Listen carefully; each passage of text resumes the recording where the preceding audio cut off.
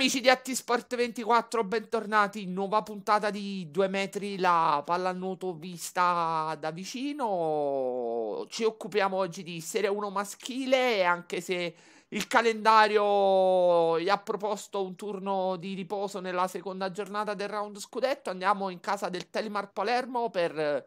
commentare le ultime importanti novità e non potevamo non farlo che con il massimo dirigente del club siciliano do il, l'affettuoso bentornato a Marcello Giliberti, presidente ben trovato, è un piacere di averla in nostra compagnia. Buongiorno Andrea, grazie per il, l'invito, come sempre graditissimo. E allora parlavo proprio di importanti novità, andiamo subito nel vivo. Il Telemar compie un passo fondamentale per la costruzione di un futuro stabile e duraturo e come tutti gli appassionati palermitani si auspicano vincente, prolungando per due anni l'accordo con mister Gubaldineti. E la metto proprio così. La soluzione della continuità è la carta vincente del nuovo progetto? Assolutamente sì, diciamo che era una cosa sulla quale avevamo già avuto confronti ripetuti con eh, Gubaldinetti da tempo, aspettavo io alcune certezze, soprattutto um, ricollegate agli impianti, eh, perché a Palermo abbiamo una situazione un po' particolare, eh, la piscina olimpica comunale straordinaria, bella, dotata di doppia vasca di proprietà e gestione comunale, andrà incontro a degli importanti lavori finanziati con i fondi di cui al PNRR. Eh, abbiamo avuto svariati incontri con il sindaco Roberto Lagalla, con l'assessore Sandro Anello, che hanno garantito non soltanto al Telimar come realtà di punta nello sport diversivo palermitano e nella pallanuoto, ma tutto il movimento natatorio cittadino e anche alla collettività in generale, eh, la continuità nell'apertura dell'impianto. Quindi indipendentemente dalla calendarizzazione che daranno i lavori, fra le due vasche eh, di cui è dotato la piscina olimpica comunale di Palermo, un evento eventuale vasca ehm, da andare ad installare prefabbricata in maniera provvisoria verrà garantita continuità all'attività. Eh, in aggiunta a questo, negli ultimi mesi noi abbiamo svolto una serie di sedute di allenamento per decongestionare comunque la piscina olimpica comunale in cui è stata aperta una sola vasca. Siamo appoggiati a Terrasini dove c'è un bell'impianto, proprio un impianto di pallanuoto, una vasca 33 x 25 eh, dove siamo andati spesso, lì stanno ultimando dei lavori, ho parlato anche lì col sindaco Giosuè Maniaci, eh, che eh, ha garantito anche lì piena disponibilità ad ospitarci e il grande piacere ad avere nel loro contesto stabilmente, occasionalmente se capiterà, eh, la squadra della mm, città metropolitana di Palermo di vertice, qual è la nostra. Dopo aver avuto queste rassicurazioni che erano fondamentali perché è inimmaginabile sviluppare e portare avanti un programma totale come quello che la società da una parte supportata da Baldietti dall'altra vuole portare avanti, eh, abbiamo perfezionato l'accordo con GU che comunque era nelle corde in considerazione del fatto che questi quattro anni in cui abbiamo portato avanti un programma di alto livello sono stati di enorme gratificazione per entrambi eh, di grande e progressiva sempre maggiore sintonia. Certo.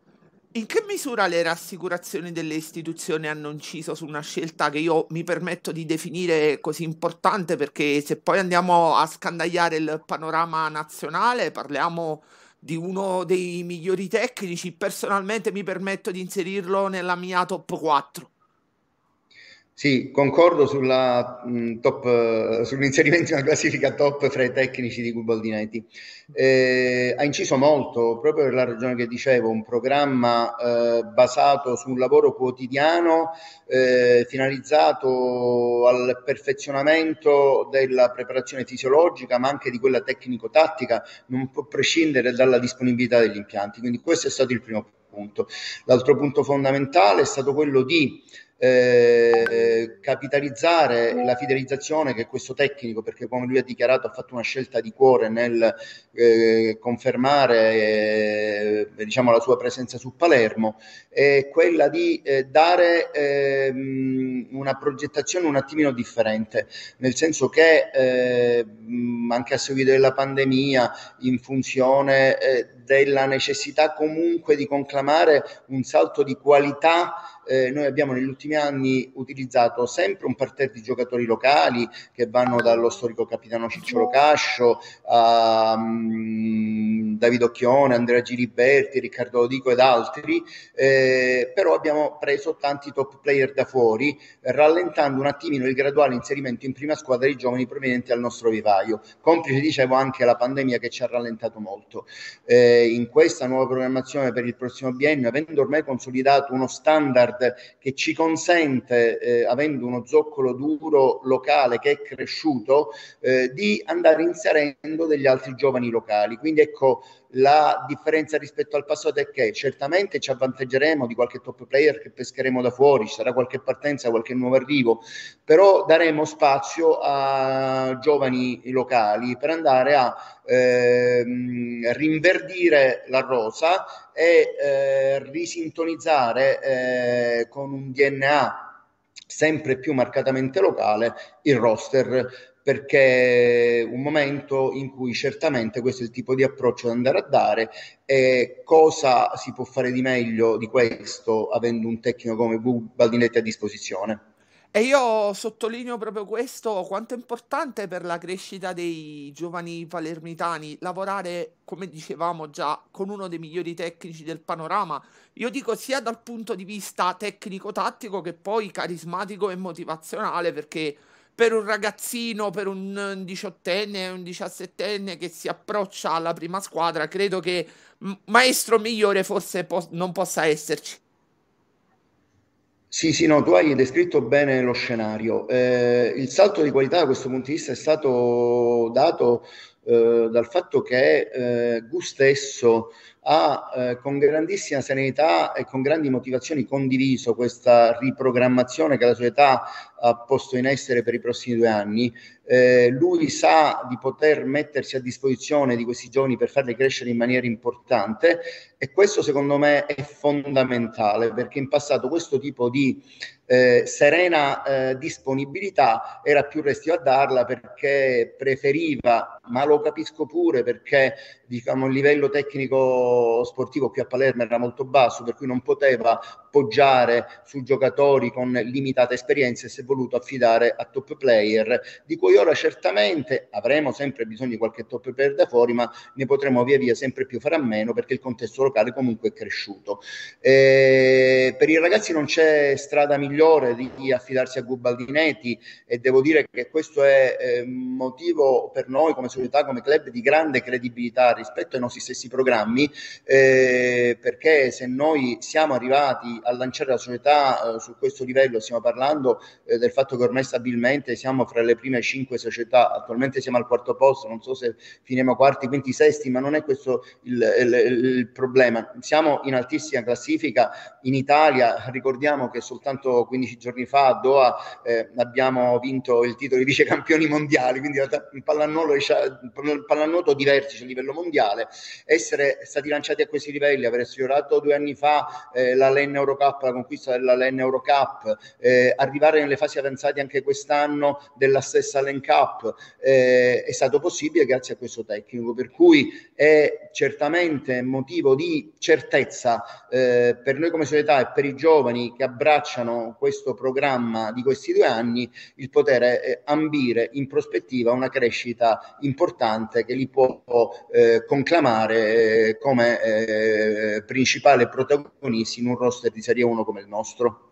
Chiudo con l'ultima battuta. Uh, è iniziato nel migliore dei modi il percorso nel round scudetto. Che peso specifico assume per il vostro percorso il blitz in casa della The Hacker? Fondamentale, fondamentale per diverse ragioni. Eh, una perché eravamo molto a rischio arrivando a questo match eh, soltanto con due giorni alle spalle in cui il gruppo aveva lavorato nuovamente tutto insieme. Abbiamo avuto in i mondiali e abbiamo perso per eh, due mesi e passa i nostri due americani, Uper e Budet, che sono stati fra i protagonisti della missione americana ai mondiali. Eh, li abbiamo ritrovati Queen dal lunedì antecedente il match del sabato, eh, John Newper che ha dovuto recuperare un piccolo fastidio che aveva con una fisioterapia fatta in casa il solo giovedì, quindi due giorni prima siamo rientrati col gruppo totale al lavoro. Eh, abbiamo rischiato e si è visto nella prima parte della partita in cui siamo andati sotto con grande sofferenza, poi però eh, la determinazione eh, del tecnico che riesce sempre a trasferire sul gruppo eh, e il livello tecnico indubbio di tal- taluni dei nostri giocatori ha fatto sì eh, di essere in condizioni in grado di resistere all'onda d'urto del Bologna che ha aggredito bene la partita e l'ha impostata anche dal punto di vista tecnico-tattico in maniera molto intelligente e alla fine di metterci avanti e di controllare negli ultimi minuti con due gol di vantaggio e chiudendo soltanto con uno sopra. È stato fondamentale resistere, portare i tre punti a casa perché ci mette in condizione di guardare questo round scudetto con la giusta serenità, considerato che ci saranno dei match impossibili, mi riferisco a quello sicuramente in trasferta con Recco, a quello col Savona, dove chiaramente ci andremo a giocare tutte le nostre carte, ma è un match difficilissimo, dove sarà difficile fare punti, per cui prendere questi tre punti e mantenere sotto eh, il Trieste e lo stesso Bologna è fondamentale per una classifica generale finale.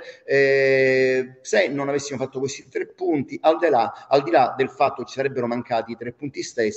saremmo pro- probabilmente andati incontro a una serie di reazioni dal punto di vista mentale, e psicologico, non facilmente superabili, considerato che i prossimi incontri saranno veramente proibitivi. Va bene, siamo così al termine di questa chiacchierata. Ringrazio come sempre il presidente Giliberti per la sua disponibilità. Do appuntamento ai nostri spettatori per la prossima puntata. Grazie presidente. Grazie a voi, alla prossima. Ciao Andrea.